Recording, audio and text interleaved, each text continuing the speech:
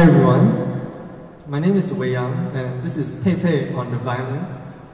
Today we're going to be performing Mozart's Violin Sonata number 27 in G major K379.